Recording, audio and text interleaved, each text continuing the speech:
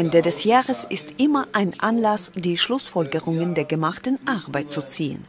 Das Jahr des 25-jährigen Jubiläums der Partnerschaft zwischen Darmstadt und Uschgorod war voll an Veranstaltungen, die die Entwicklung der Zusammenarbeit in vielen Branchen fördern.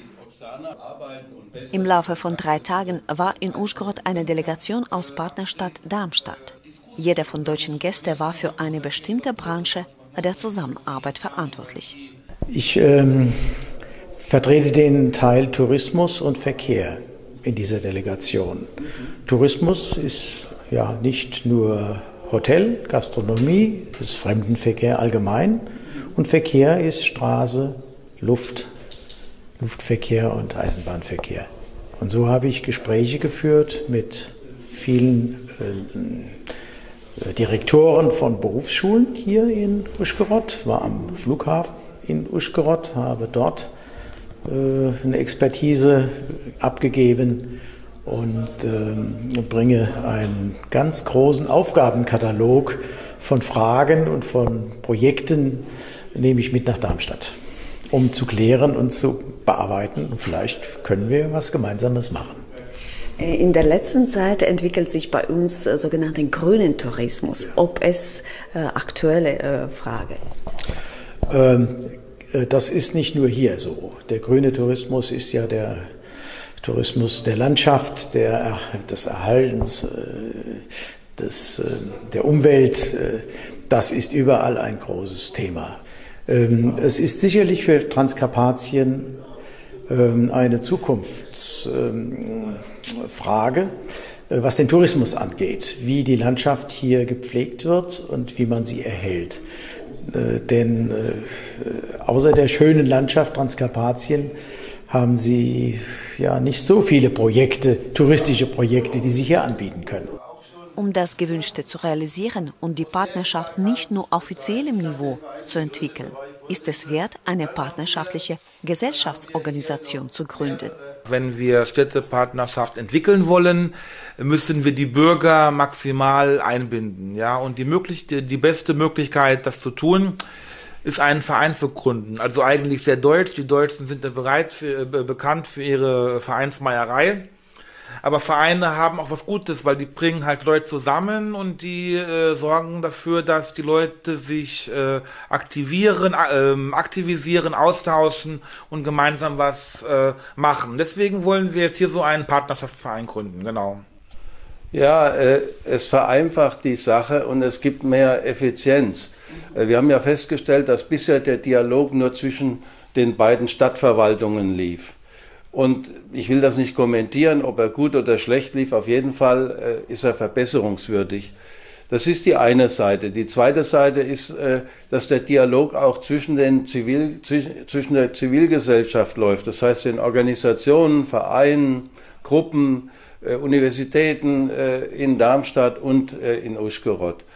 Und um das zu koordinieren, benötigt äh, würden wir es gerne sehen aus Darmstädter Sicht, dass hier eine Organisation existiert, die das Dach bildet äh, als Ansprechpartner neben der Stadtverwaltung Uschgorod. Das heißt, es geht, ist ein organisatorisches Hilfsmittel. Umgekehrt hätten die Kollegen Uschgorod den Verein, den wir schon haben, äh, in Darmstadt und äh, Sie können sozusagen die Informationen, die Sie haben oder Fragen, können Sie direkt transportieren, sowohl an die Stadtverwaltung Darmstadt als auch an unseren Verein Deutsch-Ukrainischen Freundeskreis. Gibt es schon so einen Kern von, von den aktiven Menschen, die dafür ein wichtiges äh, Interesse haben? Gibt es, Gott sei Dank. Ich meine, so ein Verein wird ja auch nicht von Hunderten äh, getragen in der Aktivität. Das ist eine Gruppe von Leuten. Ich denke, so fünf bis zehn Leute werden das sein. Die werden den Verein gründen und dann werden wir gemeinsam um Mitglieder, Partner und Sponsoren äh, werben. Wichtig ist, dass der Vereinsvorsitzende als äh, äh, erste Person, als Aushängeschild des Vereins quasi, diese Person muss äh, Deutsch sprechen weil die Kommunikation mit Darmstadt wird ja auch auf Deutsch sein, aber natürlich äh, laden wir auch aktiv Leute ein, äh, die kein Deutsch sprechen, weil äh, natürlich äh, wir sprechen hier auch andere Sprachen, aber wichtig ist einfach, dass wir in dem Verein und im Vorstand äh, auch Leute haben, die Deutsch sprechen, weil man kann nicht für jedes kleine Telefonat und jede E-Mail einen Dolmetscher äh, aktivieren. Es braucht einfach äh, in der Führungsspitze Leute, die Deutsch können. Ne? Und das schaut sehr gut aus. Es gibt hier sehr viele, die sehr gut Deutsch können und auch die, die nicht Deutsch sprechen, sind auch sehr aktiv und von daher, das schaut gut aus. Mhm.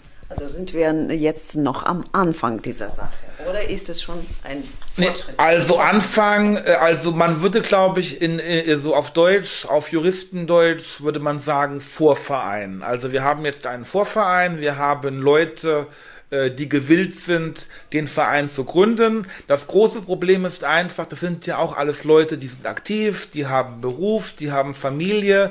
Wir haben heute einen Arbeitstag. Äh, das große Problem ist immer, die Leute überhaupt zusammenzubringen. Ja, und äh, das ist immer schwierig. Also heute waren wieder andere Leute da als beim letzten Mal, aber der Vorverein existiert und ich denke, wir werden uns jetzt ähm, im Dezember zusammensetzen, die Unterlagen vorbereiten, äh, eine Satzung schreiben und dann diese Satzung äh, einreichen im Vereinsregister in Uskoroth und dann denke ich, können wir den Verein Anfang Januar, Mitte Januar registrieren und offiziell die Gründung feiern. Das Logo wurde entwickelt von einem äh, Designer aus Kiew. Äh, das Logo haben wir einfach entwickelt und das schaut gut aus und mit dem werden wir arbeiten, ja. Während der zahlreichen Treffen mit Aktivisten der Uschgoroder Stadtgemeinde wurden viele Fragen weiterer Zusammenarbeit besprochen.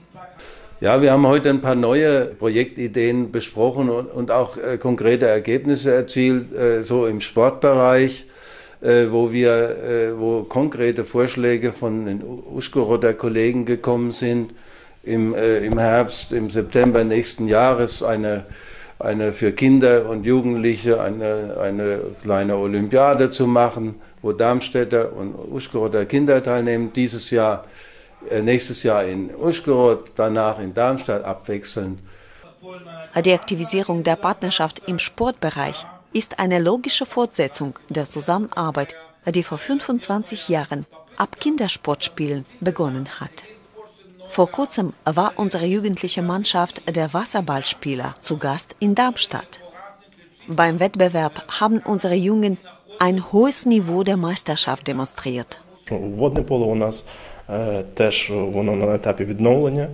Тобто дітки займаються там 4-5 років І досягли таких результатів. І Ми готові підставити плече місту побратиму, допомогти навчити команду досягати таких рівнів, і потім разом спільно з, з нашою командою брати участь у різних міжнародних турнірах не тільки в Дармштаті, а в тих містах, які є спільними містами побратими, тому що місто побратим Сегет є побратимом побратимом Дармштата.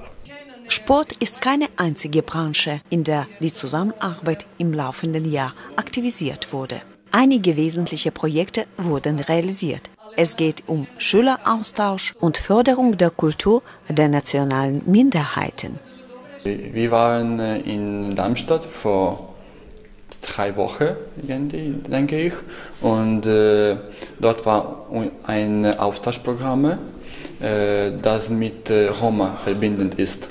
Also erstmals Leute aus Darmstadt sind hier nach Uschgorod im Mai gekommen und äh, jetzt im November sind wir nach äh, Darmstadt gegangen und äh, das war ein Austauschprogramm, wo man äh, über die Roma Kulturzentrum Entwicklung äh, kennengelernt kann.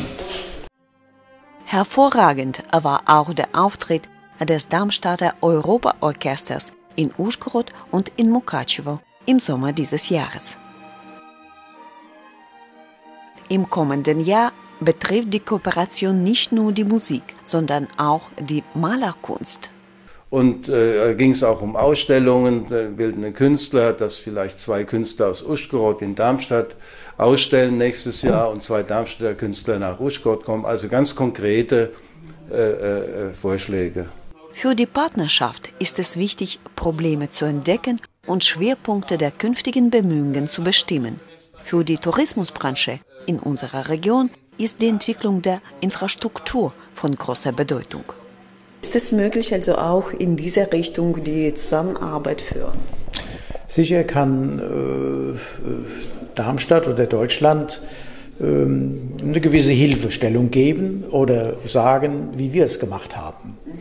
Ähm, es gibt hier viel zu tun, das weiß ich. Ich bin jetzt seit zwölf Jahren in Uschgorod, immer wieder zu Besuch und äh, als Touristiker habe ich natürlich die Frage immer, was macht ihr und wie sieht das aus?